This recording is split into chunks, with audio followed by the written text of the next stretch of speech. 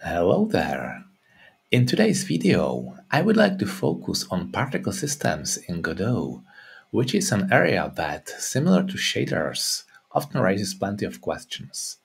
Particles are useful for various effects if we know how to use them. In this video, we will enhance our 3D scene with snowfall.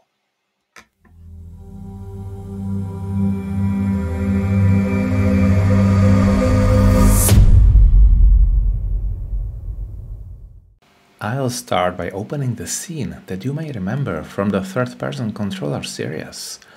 Last time we added a shield around the character, and I think this time we can temporarily remove it to avoid obstructing the view. So it should be uh, here in character and the shield over there. Get rid of that. Great. The second thing I'd like to do before starting to work on particles is something I should have done a long time ago, and that is to add a world environment to the scene. What we see in the 3D editor is actually a scene lit by the default environment, unless we edit one ourselves as a child node. However, this doesn't work when the game is run, so I'll address this issue right away right click add child node and world environment. And we need to add some environment click it. And uh, for simplicity I will activate just I would say sky environment where it is. Oh. yeah background sky. And let's keep it as it is with default settings. So everywhere we can see only a black sky this is because the snow we want to create will stand out better this way. Later on, we can enhance the sky with a more interesting color. Now, let's finally dive into the snow. Well, not literally, but you know, you know what I mean. We'll add a GPU Particles 3D as a child node and move it slightly above the scene so the snow has a starting point to fall from. So right click again at child node and GPU particles 3D. Where is it? Here. Okay. And as I said, I'll put it slightly above the surface. So we will, for example, set the Y coordinate to 20. Now it's over here. Good. Let's get into setting up the parameters.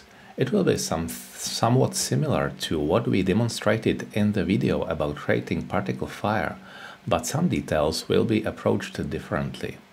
Let's start by increasing the particle count, because no one would be impressed by snow made up uh, just of just 8 flakes. Considering the GPUs are quite powerful when it comes to particles, we can afford something like 2000 and later even more. Another significant difference from the previous effects will be the lifetime. Uh, as you may remember, with the fire, we significantly shortened the lifetime, uh, probably less than one second. That made sense because the particles were moving at a much higher speed and it was necessary to quickly terminate them to maintain the desired flame shape. On the contrary, snow will fall slowly, and we want the flakes to reach the ground if possible. Let's try 5 seconds uh, here for now, and we can adjust the value if needed. Uh, so, to finally see some particles, we need to set up both the particle process material and at least one draw pass. Let's do that. Particle process material, it would be here. Let's create new particle process material. And draw passes, uh, right over here, one pass is good enough. Let's create a new quad mesh. And it is already going down.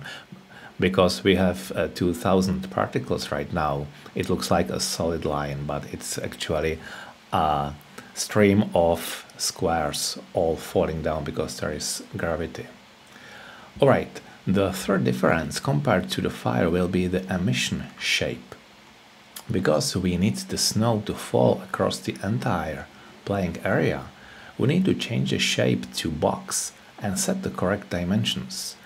Okay, it seems the UI changed in Godot 4.2, so it will take some time to find it, but I think it should be in Spawn. Yeah, angle velocity. Yeah, of course, emission shape, point, and box. And of course, we want the box to cover this entire area, so it would be 100. Uh, let's keep one here and 100. Okay, now it seems to be uh, just as we expected, but of course there are some details we need to tune. Uh, we'll adjust the particle emission vector because it's sufficient for Snowflake to simply appear with a small initial push in the y direction. Then gravity will take care of its movement and will leave gravity at its default value. Okay, so the direction would be most likely uh, here. Uh, direction, no, no, spawn, uh, emission shape scale. So there's no velocity. Yeah, here, direction, of course, and I said at the y direction. So uh, before we proceed, it would probably be a good idea to do something about the shape of our particles. Snowflakes definitely don't resemble squares, so let's improve them a bit. Here I'd like to point out a very useful add-on that we'll install right away from AssetLib. In fact, I already did that, but let me show you how it looks. Let's switch to AssetLib and find uh, particle.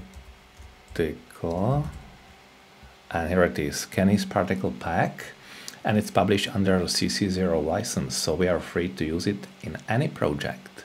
So we would simply click it and then click download and install and if we get back to the file systems it is right here and it contains a lot of useful um, a lot of useful sprites we can use and particles and I selected this one smoke 01 because the list doesn't include a snowflake exactly, but uh, it is pretty similar and looks quite usable. So now we need to find the draw pass we already created before.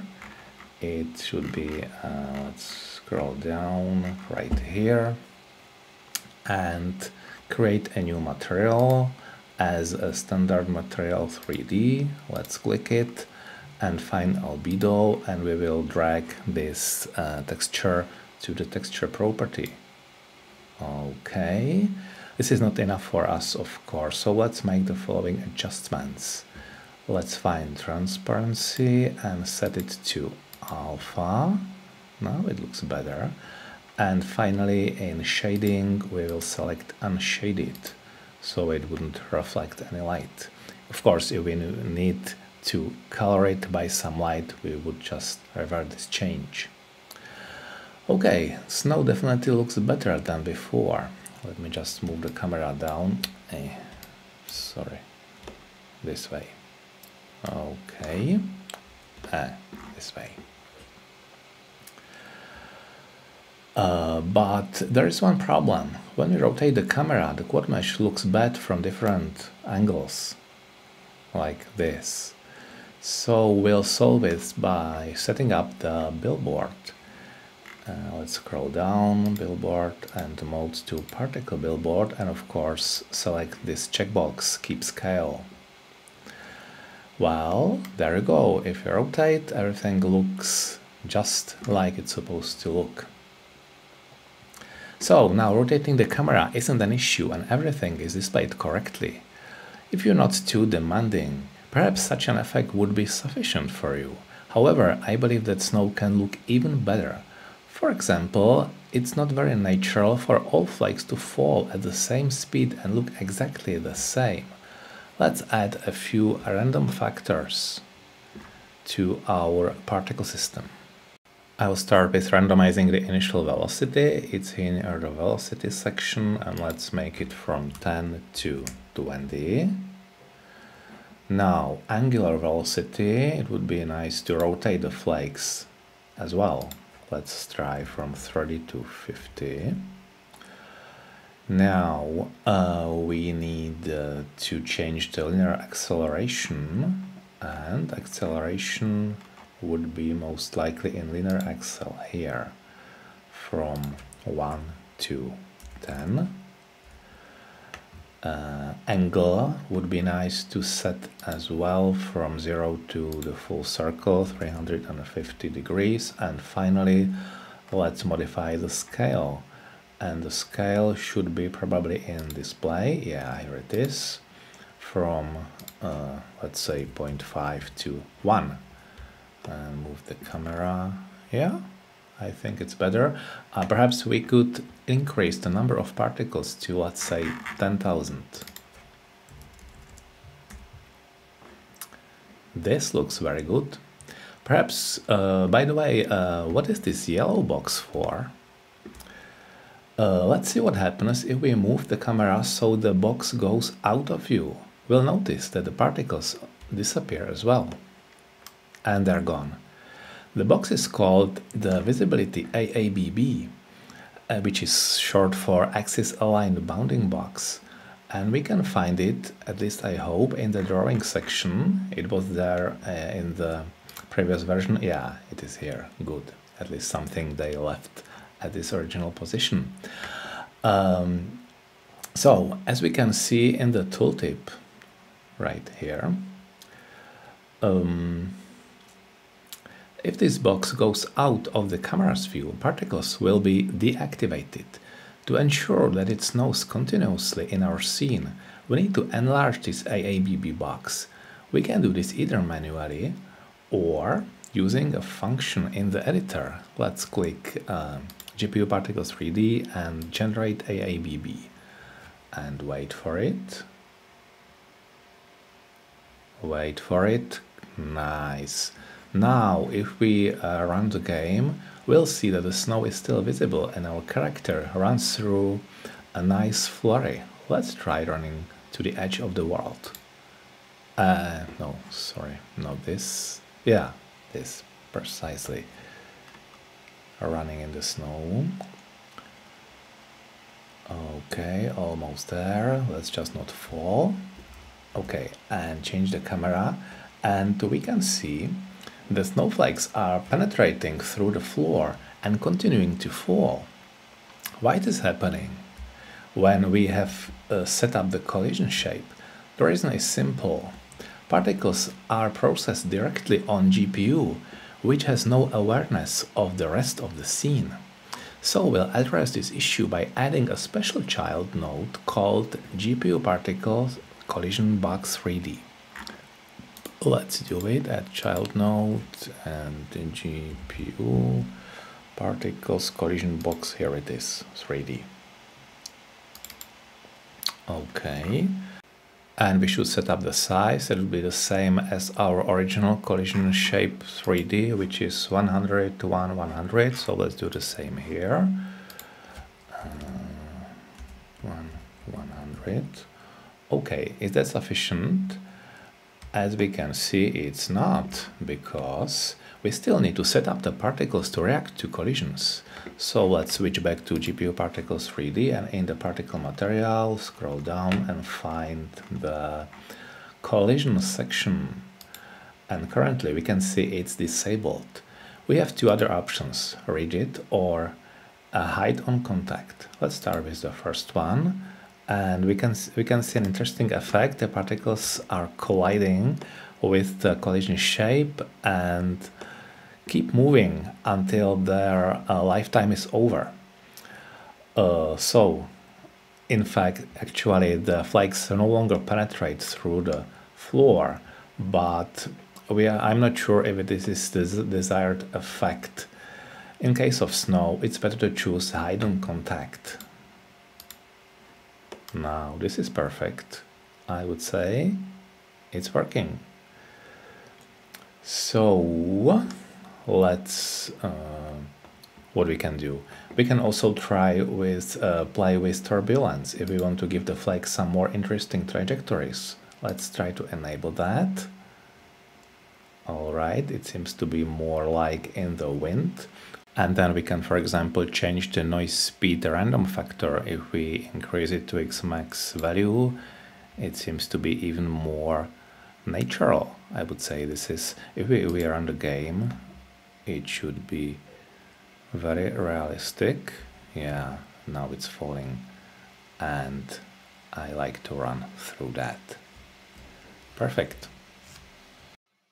So we can say that the snow is working and includes many configuration options that we can later control through a script. And that's about it for snow today. I hope you enjoyed working with particles and next time we can try something like rain, where we could test sub-emitters for the effect of raindrops hitting the ground. Have a great day and see you in the next video.